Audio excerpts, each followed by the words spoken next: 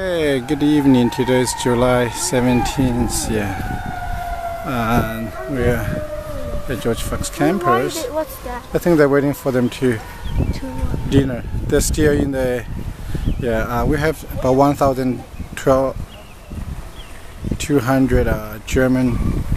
Uh, they call it Old Baptists here to have a conference in the summer. So, and they set up this like tabernacle. Yeah right on campus and they stay in the dorm. We just went there so the RV there.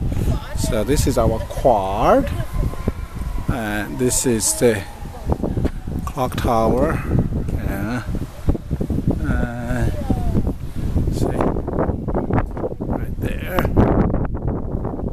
Yeah, we just had a walk. Girls we just had a walk in the trail we saw deer.